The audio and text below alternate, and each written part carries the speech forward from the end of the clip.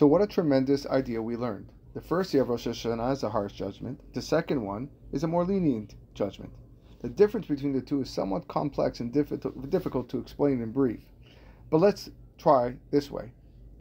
It's extremely difficult to be successful when facing judgment. We beseech Hashem to remember Akedat Yitzchak and have the merit of our forefathers hold us up, because we on ourselves cannot possibly do so. On the second day, however, it is possible. What does that mean?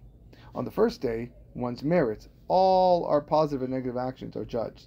On the second day, one is judged according to how much the public needs them. There are some who will be granted life because they provide vital medical treatment for their patients, and others because they teach Torah or open and close the shul each day. There's also a group that shares in the merits of the public. We refer to these group as lezakot harabim or zikui harabim, bringing merit to the masses. Being a partner in an organization that facilitates a constant study of Torah or performing chesed is one such example. Many examples exist, often involving acts that you yourself do not know how to perform or are not able to execute, which can be achieved through the partnership with those who are capable. It's something to remember.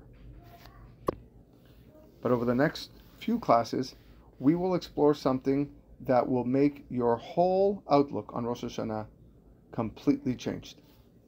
Stay tuned.